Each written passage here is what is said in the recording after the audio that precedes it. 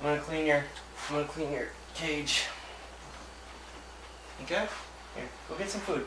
Now I'm gonna clean your cage.